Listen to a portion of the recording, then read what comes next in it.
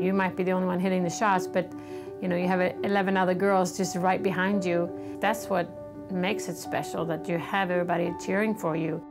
It's almost like you get more nervous because you, you don't want to let them down.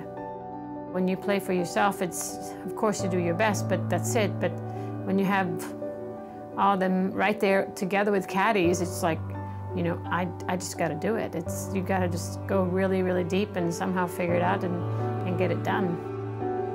When it comes to getting it done on the biggest stage, there aren't many players who understand what it takes more than Annika Sorenstam. Choosing the next European Solheim Cup captain became a simple task once she'd offered her services, and she'll be drawing on her experience of 10 major championship wins and playing in no fewer than eight Solheim Cups to lead her team. When I played in um, Solheim Cup in 1994 at the Greenbrier, I had lit, I mean, I was a rookie, literally. And uh, I was extremely nervous. I mean, my teammates were players that I have read about, seen on TV, and, you know, for me to just be included was, you know, was a big deal. Uh, but then also to play against, you know, the USA, players that I've never really seen, players that I, you know, just watched again from far. I was, I remember I was so nervous. I was playing against Tammie Green at the at the time. It was single matches, and and somebody said I lo literally looked green in my face, and they said, "Don't forget to breathe." I just stood there. I didn't really know what to expect. By the 1996 Solheim Cup, Sorenstam was Europe's leading player. Despite winning four out of a possible five points, she was powerless to stop the US team overturning a two-point deficit during the final day's singles. I mean, I look back at 96 and I, uh, I mean, all we can do is, is do our best. I remember playing good golf. I mean, that's what I remember. But it just shows you what match play is all about. It, you know, it's never over until it's over. You have to keep fighting, and and also that every point matters. It, you know, it doesn't matter what you've done the first two days, and there's still more points out there, and you just got to keep on going. I remember walking away thinking, you know, what could we have done differently? And we probably gave a few away because we maybe took a, thing, a few things for granted.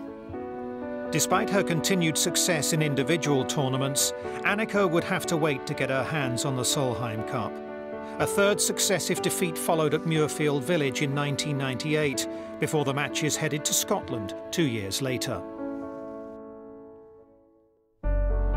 I felt like at Loch Lomond so many things were lining up. You know, they always say the stars were lined up. They really were. I felt like we had a good team spirit. You know, we kept fighting and we've, you know, even with 4-0, we never let go of the, the gas pedal. I remember we just keep pushing and pushing and there were a lot of delays. It was, it was a lot of interruptions. It was early mornings because of delays and so forth. That it, it was really a tough few days. But I remember uh, coming down to the stretch and and I mean, we looked at the, at the clock and we knew that the sun was going to go down and we had the momentum on our side and how can we finish?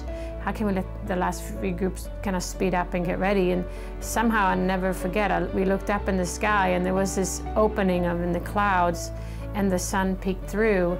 So we got a few more minutes of daylight and Carin Koch was, you know, in one of the matches that was really crucial. And, um, you know, the putt that she made there in the end, it was just spectacular. And yeah, it was just, the feeling was just incredible.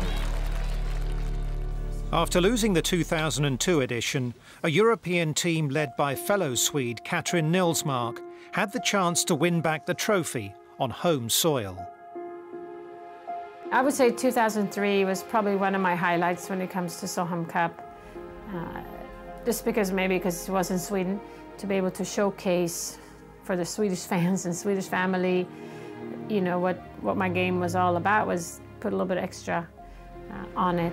And we had a beautiful few days down in, uh, in Barsebäck and of course was setting up beautifully. And I mean, I remember I played very, very well. Again, we had a good team and you can feel the energy early on and um, had some fun matches together with Suzann Pettersen coming down the stretch, some other highlights and the in the best ball. We turned a match around and and she was newer on the scene and I'd been around for a little while and so we, we bonded really well and we complemented each other well. I mean, she's a little bit more fiery than I am as far as a personality a little different game, a little bit more, she's more aggressive, I'm probably a little bit more of a strategist.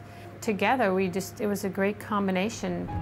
With Europe leading eight and a half, six and a half, the Scandinavians were one down with two to play in their four balls match, but managed to win and give Europe vital momentum for the final day. It was so incredible. Somehow, like I said, when you play as a team, you you hit shots that you might never hit before. You you hit a chip shot that you didn't think you could do, or you make a putt. You're like, how?